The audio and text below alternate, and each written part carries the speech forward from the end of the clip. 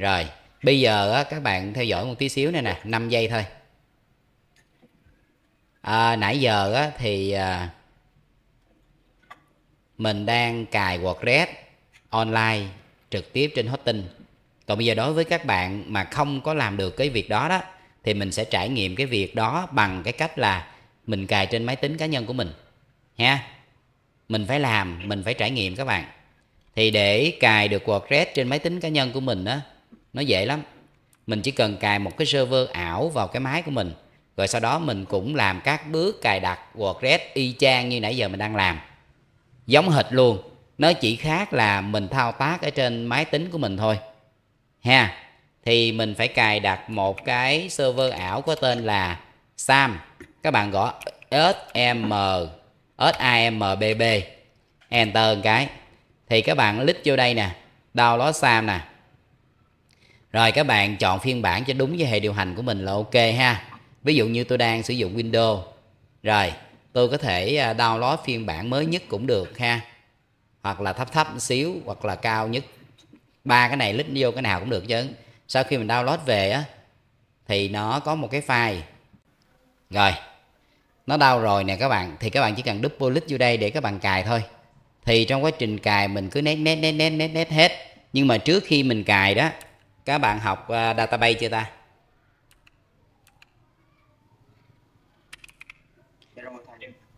Rồi thì các bạn vô trong cái này các bạn kiểm tra giùm tôi một cái. Những cái gì liên quan tới SQL MySQL các bạn xóa để các bạn cài cái mới ha. Tại vì cái SAM này nó có MySQL cho nên nó sẽ đụng với SQL bữa hở mình học database. Mình xóa dùm cái đó. Ví dụ như mình vô cái à, program này nè mình tìm cái chỗ nào mà nó có chữ SQL với MySQL á, mình xóa trước khi mình cài SAM. Ha, cho nên các bạn thấy đi, trong đây tôi không có cái gì liên quan tới SQL trơn rồi á. Rồi, mình cài SAM á, nếu mà mặc định nét nét nét nét nét hết, thì nó cài trong ổ C. Ha, còn không á, thì mình có thể ổ, đổi ổ C đó thành ổ D. Thì sau khi mà cài thành công đó, thì cái máy mình nó sẽ có thư mục như thế này. Ha thư mục SAM như thế này hoặc nằm trên ổ D hoặc nằm trong ổ C. Và khi đó thì trong đây nó có những cái thư mục như thế này. Mình chỉ focus vô cái thư mục ht dot thôi.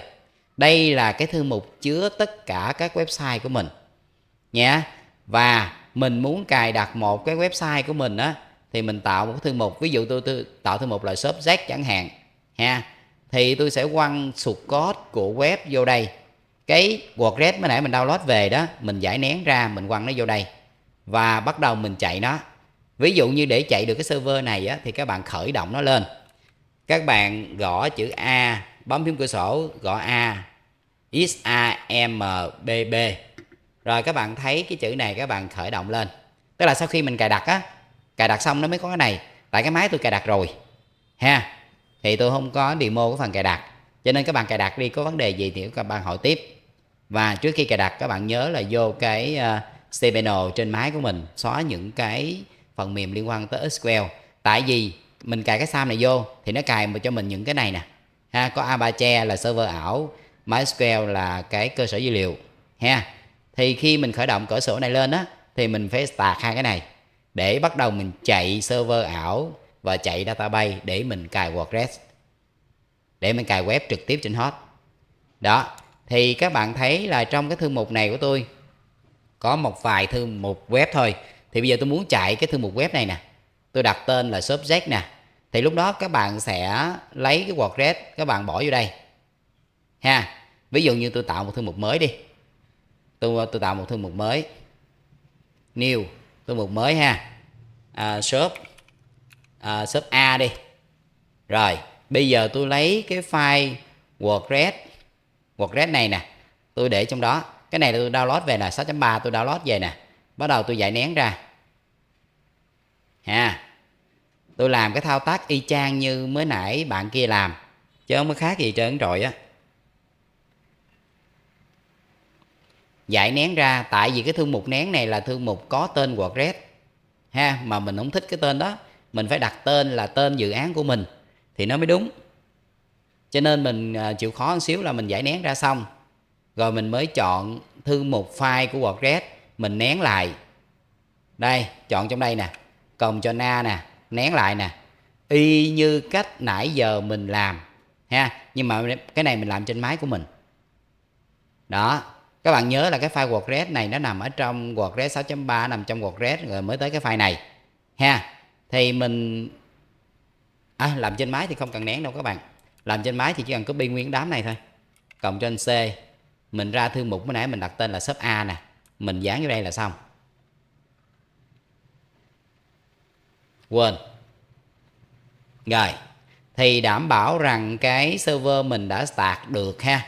Còn nếu mình mình mình mà start ở đây nè mở dưới đây nó có đỏ đỏ đỏ đỏ nè là mình đang bị sai nghĩa là mình chưa có sửa, mình chưa có xóa cái SQL cũ, nó sẽ bị đụng lộn, đụng cái cổng này nè.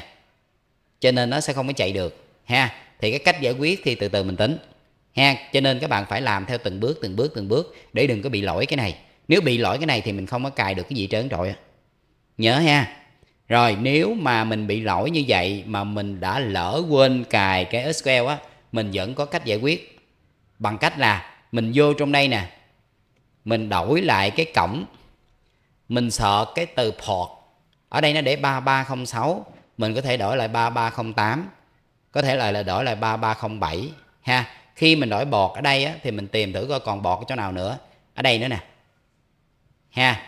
Ở đây là bao nhiêu thì dưới đây mình đổi bấy nhiêu. Y chang vậy á. Sau khi đổi đó xong á thì các bạn cũng phải vô đây các bạn đổi một cái nữa. Click vô cái config nè. Các bạn vô cái service and board setting nè. Các bạn vô MySQL nè các bạn sửa này lại nữa là ok.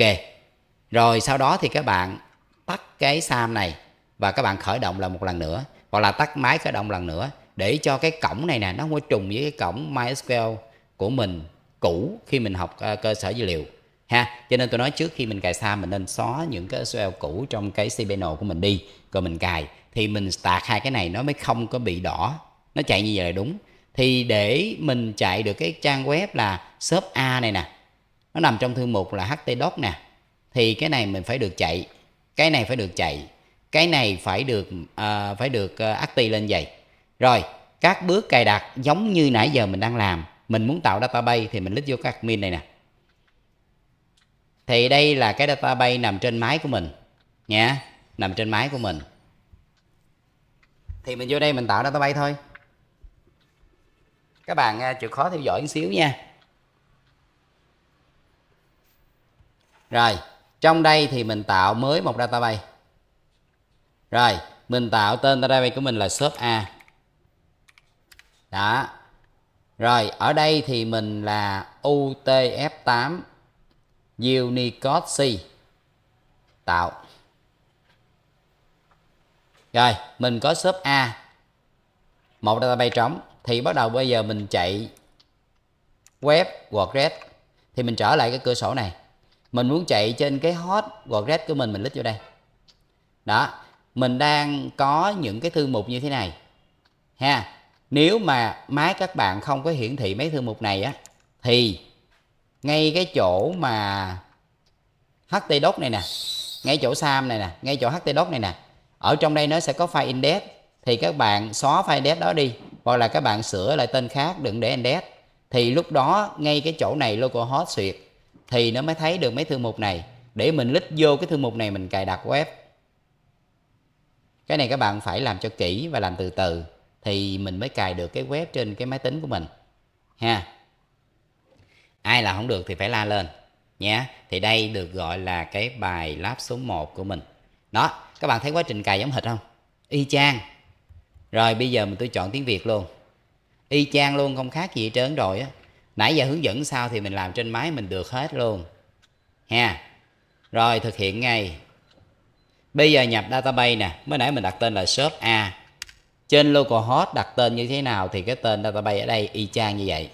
Rồi tên người dùng trên localhost thì ngay cái chỗ này là nó là root. Rồi password là không.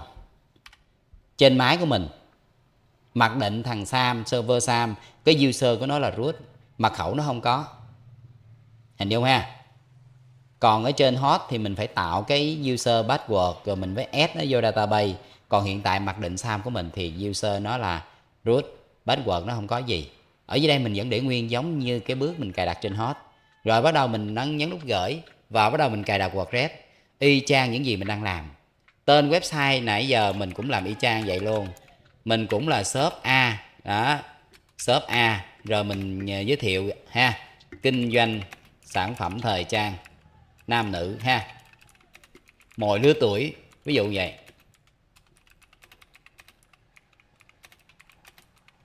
Ví dụ vậy, ha. Thường thường á, cái tên này nè, nó cũng bao gồm luôn cái từ khóa. Ví dụ trong cái dòng này thì từ khóa của mình là sản phẩm thời trang. Ví dụ vậy là từ khóa chính. Và từ khóa phụ của mình là sản phẩm thời trang nam từ khóa phụ của mình là thời trang sản phẩm thời trang nữ, ví dụ như vậy. Rồi, tên người dùng ở đây là admin. Password là cái gì đó, ví dụ tôi đặt là một, hai, ba, bốn, năm, sáu, ví dụ như vậy. Hoặc là tôi đặt một cái password gì đó. Ha, nhớ password ở đây mình đặt thì mình phải nhớ. Rồi, email. Rồi, không cần chết vô đây. Cài đặt WordPress.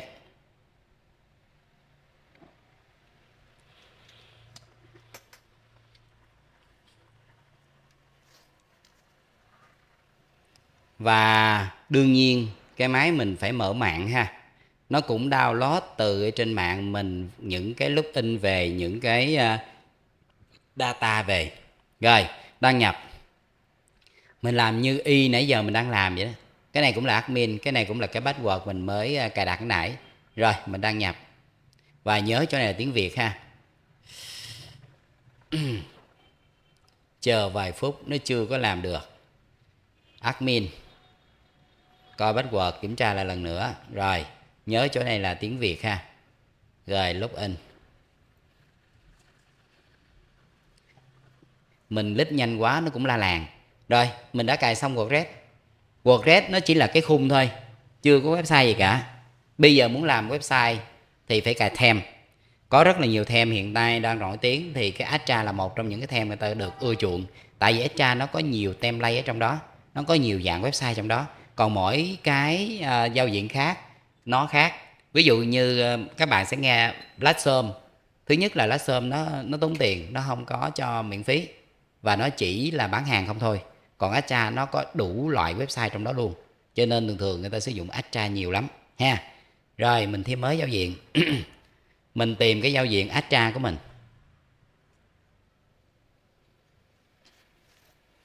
Astra chứ không phải là Astra trời đó. đấy, cái màu tím tím này, bấm cài đặt. Lúc này là chắc chắn là máy mình phải có internet các bạn ha.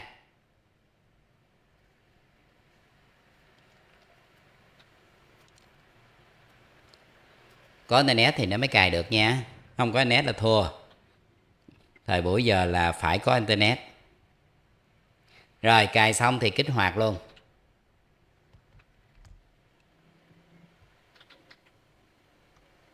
Rồi kích hoạt xong thì mình cài luôn cái starter template, tức là template cho người bắt đầu. Không có cài này thì không có template, không có dữ liệu.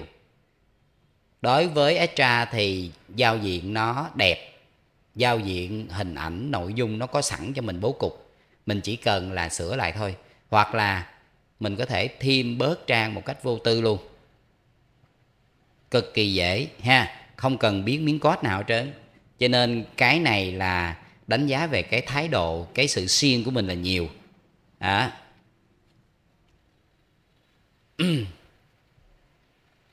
mạng nó lắc nữa hay gì đó? À, trang này không tồn tại tàu lao chưa có cài mà tồn tại khỉ gì? Bách lại các bạn có những lúc thì nó à, nó nó nó bị như thế đó. Rồi nó mạng chậm thôi chứ gì rồi bây giờ mình thấy nó không còn cái phần là cài đặt uh, cho người bắt đầu nữa mà mình thấy cái menu nó xuất hiện bên tay trái thì mình lít vô menu luôn. Thì bắt đầu mình cài đặt website cho nó nè. Mới nãy mình chọn cái chính giữa này đúng không? Rồi mình lít vô chọn cái chính giữa. Rồi bây giờ mình cài cái phần lại WooCommerce online shop loading store ha. Zware re store spot store ví dụ như vậy bookstore. Chọn cái. Rồi, ví dụ như bookstore ha. Ví dụ như thế này. Còn bạn nào có tiền thì cứ chọn mấy cái template mà nó có cái premium như thế này. Còn những cái không có premium tức là nó miễn phí. Nhớ ha. Đó, mấy cái này là miễn phí nè. Lít vô. Skin care rồi cái chỗ này logo hay là file hay gì đó, từ từ nó upload sau. Mình cứ nét. Rồi, mình cứ chọn màu mình yêu thích đó. Chọn màu yêu thích. Rồi ví dụ như chọn roboto để phong chữ tiếng việt cho nó ổn nhất có thể. Rồi continue. Rồi cái quá trình này mình làm y chang như nãy giờ mình đang làm ha. First name last name gì nè. Người bắt đầu gì nè. Tự làm cho mình nè. Chấp nhận nè. Và đây là những cái lớp in những cái data sẽ hỗ trợ cho mình à, quản lý dữ liệu trong trang admin nó dễ rồi các bạn, và nó import luôn content cho mình luôn nè. Rồi mình submit thôi. Đó, thì quá trình cài đặt WordPress cài đặt tem, cài đặt tem lay cho cái local host giống như mình đang cài đặt trên host mới nãy, ha. Nhưng mà ở đây có cái điều khác là mình chỉ cần là local host duyệt shop a thôi là xong, là mình sẽ có trang web. Và đây là quá trình nó đang cài lúc in, cài content cho mình. Đó, nó tiện như vậy đó và ví dụ như mai mốt á mình là IT đúng không? Thì uh, ngoài cái Astra mình sử dụng để mình xây dựng những website bán hàng thì Astra cho mình làm đủ thứ loại bên nãy các bạn thấy đó. Các loại website luôn. Website doanh nghiệp website cho cá nhân website uh, y tế giáo dục học online nói chung nó đầy đủ ha. Còn mục tiêu của môn học này mình chỉ cần là cài được cái website bán hàng là ok.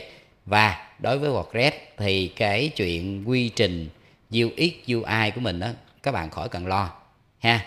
Nó rất là ok rất là ổn. Mình chỉ có việc là mình xiên sưu tầm dữ liệu để upload lên để edit. Và mình kiểm tra cái quá trình thanh toán của nó coi ổn chưa? Và chắc chắn là nó ổn á. Nếu mà nó không ổn tức là mình đang cài đặt sai ha?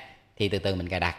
Còn bây giờ ngay lúc này các bạn chỉ cần cài đặt được WordPress cài được được template cài được được cái theme vô cái uh, máy tính của mình hoặc là lên cái host là ok. Hình không? Thì có những cái quá trình sau nó y chang vậy các bạn à, tôi không cần làm demo ha.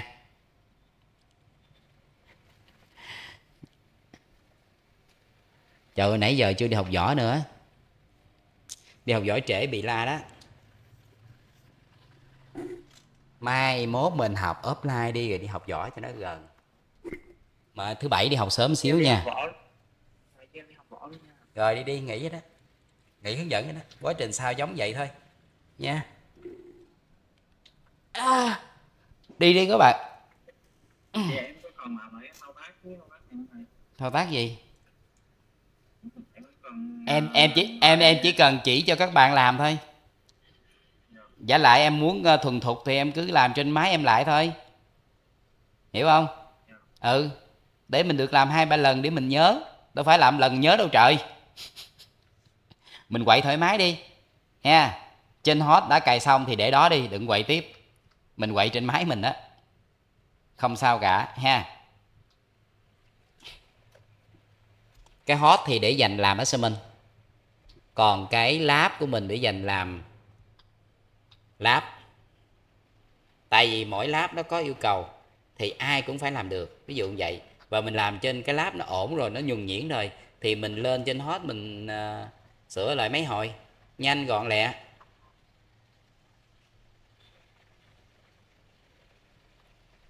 Bạn nào không có đi học thì cứ ngồi chơi ha. Để coi coi mình cài trên hosting à, trên local host mình nó như thế nào.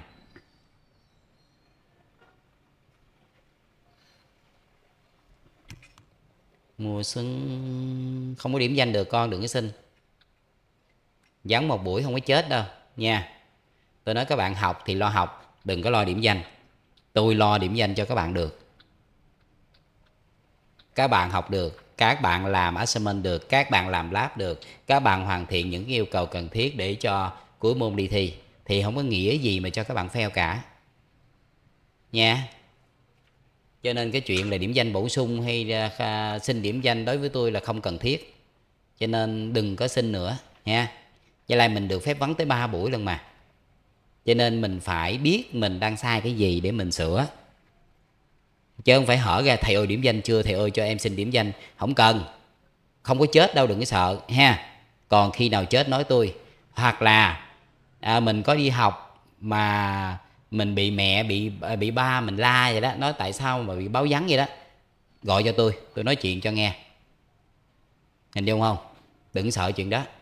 Trừ phi các bạn lẫn trốn các bạn không muốn học các bạn sao á ha. Thì mấy bạn đó là tôi rất là thẳng tay rớt là rớt đó chứ không on đời trên đó với tôi không on đời gì trên rồi tại tôi chỉ hết rồi. Tại mình không làm thôi. Nha. Còn chuyện ờ, lâu lâu đi trễ bữa nhầm nhò gì? Nhà trường cho mình được phép vắng tới 3 buổi lận.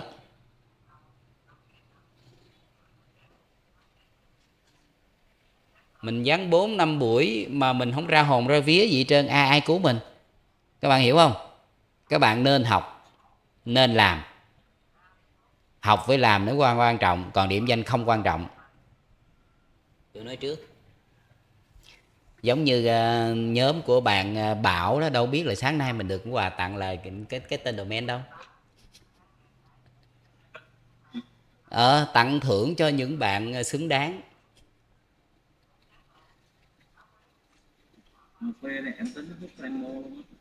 Sao em thức gì? Đó thấy thưa người ta có cái tư duy tích cực ghê gớm không? Thì có sao đâu. Ừ, em làm một cái domain rồi một domain cho cho nhóm mình làm ví dụ như vậy đơn giản. Với một cái trang quản trị web thì à, trong nhóm mình ai cũng có thể đăng nhập vô được hết á. Ha? Mai mốt mai mốt đừng nói là ừ tại vì bạn không cho em cái username quận cho nên em không có làm gì trên đó chứ vậy đi báo cáo đi làm gì? Mình báo cáo cái gì? Cá nhân mình đóng góp gì trong nhóm? Nói ví dụ như vậy, mình phải rõ ràng nha. Không có đu đu đu đu nha. Ví dụ như sáu đứa mà con đứa làm một thì năm đứa kia chắc chắn rớt. Tới báo cáo mà hỏi ra không có làm gì hết là rớt. Và bữa trước tôi cũng đã triển khai cái file phân công công việc rồi. Thì các bạn cứ ghi nhận lại mình không có nhớ đâu nha. Mình ghi nhận lại. Làm bất cứ cái gì thì mình ghi nhận lại. Ví dụ, công việc đầu tiên của mình là mua domain trỏ hot, cài đặt WordPress, thì bảo nó sẽ ghi vô cái phần đó trước. Ừ bảo thực hiện cái đó rồi. Đó, thì sắp tới mình sẽ làm gì tiếp nữa? Ví dụ như là sưu tầm hình ảnh nội dung cho đúng chủ đề. Ví dụ như là thiết kế thương hiệu, thiết kế logo, thiết kế banner. Tức là mình thay đổi lại hết các bạn nha. Và các bạn sẽ được hỗ trợ mình sử dụng cái gì làm làm làm làm làm. Đó. Nãy giờ tôi câu giờ tôi nói chuyện để cho nó cài đặt á. Rồi giờ nó cài đặt trăm trăm xong rồi nè. Thì bây giờ mình chỉ cần coi website của mình thôi. Đó các bạn thấy không? À, mới nãy mình cài trên hot á thì cái này nó nguyên cái tên domain. Còn bây giờ trên cái máy tính của mình á nó là local host duyệt shop a. Shop a là cái tên thư mục web của mình đặt ở trên cái máy tính của mình. Đó ha đó thì web mình nó có bố cục vậy nè. Mình vô mình sửa lại thôi là xong. Quá ổn. Mình làm sao được đẹp bằng vậy? Và cái quy trình thanh toán đặt hàng của thằng WordPress này cực kỳ xịn sò. Nhá rồi những cái à, bài viết cấu trúc đồ nó rất là thân thiện với Google. Và mình viết à, những bài viết nó chuẩn SEO á nó rất là tuyệt vời đấy cho nên cố gắng là đã lỡ biết tới WordPress rồi thì cố gắng quậy nhiều nhiều vô. Mình là amateur thì mình chỉ cần quản trị được dữ liệu quản trị được nội dung. Còn các bạn mà chuyên ngành về web á, thì các bạn sẽ lập trình được với WordPress luôn. Đó thêm sửa xóa các action này các section kia đồ rất là dễ. Dù vậy còn mình không cần biết lập trình mình vẫn làm được cái này. Rồi mình vô admin mình có thể là bấm vô cái chữ sửa với Elementor hoặc các bạn vô customize hoặc các bạn gõ thêm cái chữ W à, trừ admin. Đó bỏ mấy phần này ra enter một cái. Thì các bạn được vô cái trang quản trị trang web. Nha thì cái trang này quản trị tất cả những gì trên trang web của mình mà bữa nãy tôi đã giải thích à, rồi. Đó thì về nội dung chung thì các bạn vô cái phần giao diện vô phần tùy chỉnh cái khung layout á. Ha nó về menu nó về logo nó về uh, header footer. Header là những phần trên của website footer là những phần dưới của website.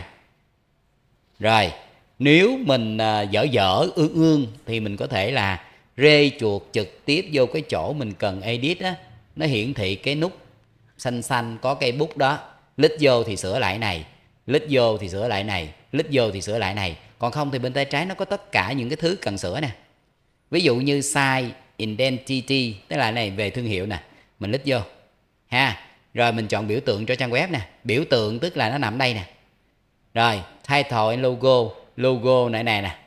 Lít vô nè. Đó. Đây, logo của mình nè là này. Nó là trong suốt nè.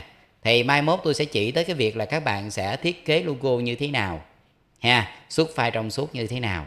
Cực kỳ dễ ha. Rồi ở đây logo nó có ba bốn loại logo nằm đây các bạn. À, ví dụ như logo này logo bình thường nè. Rồi logo mà cho cái phiên bản à, những cái thiết bị di động chẳng hạn thì mình lít vô đây nè. Đó mình chọn thêm cái logo nữa. Tức là một logo mình có có thể nhiều phiên bản. Rồi bên design thì đây là thiết kế những gì liên quan tới logo. Tức là bên đây là chọn element, chọn đối tượng. Bên đây là những thuộc tính của đối tượng đó. Ha, tức là mình phải có cái tư duy trước khi mình làm mọi việc, chứ không phải ngồi mò. Rồi tên website mình cũng thể sửa lại được luôn nè. Đó, về chuẩn SEO thì ở trên title này á, mình sửa lại, đây là dấu gạch đứng. Nó sẽ hay hơn dấu gạch ngang. Tại vì nó biết được đây là một từ khóa, đây là một từ khóa đối với dấu gạch đứng ha. Còn dấu gạch ngang thì cũng được nhưng mà cái sự ưu tiên nó không có cao bằng cái dấu gạch đứng. Nhớ ha. Rồi khi mà mình test giao diện thì lúc nào nó cũng có desktop và lúc nào nó cũng có thiết bị di động. Thì lúc này á, mình sẽ uh, check được cái uh, kích thước giao diện hình ảnh của mình. Sao nó chuyển lâu vậy? Sao nó chuyển lâu vậy? À tức là không phải chuyển mà là cái title này nó được thấy trên các thiết bị. Ha. Rồi slogan của mình nè. Đó, mình có thể thêm cái slogan vô. Rồi cái icon size của mình nè. Đó. Đâu rồi? Đóng lại. Còn làm xong thì bấm nút đăng, nhớ ha. Đấy à, cái nãy là tùy chỉnh cái à, giao diện. Tùy chỉnh cái giao diện tức là cái khung.